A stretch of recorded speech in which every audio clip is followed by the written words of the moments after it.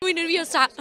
¿Qué significa para ti estar aquí en honor a Rocío Jurado? Pues tú imagínate, ¿no? Para mí que es mi gran referente, pues mucha emoción, mucha emoción y, y, el gran reconocimiento que se le hace a ella con la lucha que siempre ha tenido por nosotras, por todas nosotras. Y es un orgullo estar aquí cantándole a ella.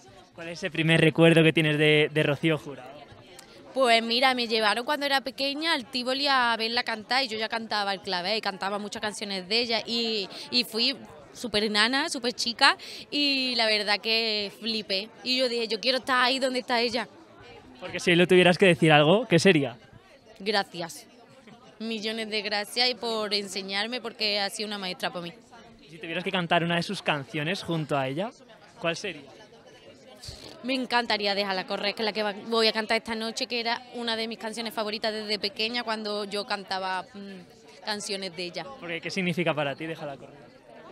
Pues significa muchas emociones, muchos recuerdos de cuando era pequeña, iba con mi madre, con toda mi familia, de un lado para otro, cantando sus canciones. Me trae muchos recuerdos, es como mi principio de que empezaba yo al mundo del artisteo de cantar. Ya poniéndonos un poquito así más reivindicativos, ¿qué mensaje nos gustaría lanzar esta noche además? Pues esta noche queremos mandar un mensaje de que todas juntas podemos con, con esta lucha por nuestros derechos a la igualdad. Que todas juntas, de la mano, lo conseguiremos. Así es, Anabel. Qué arte. Muchas gracias.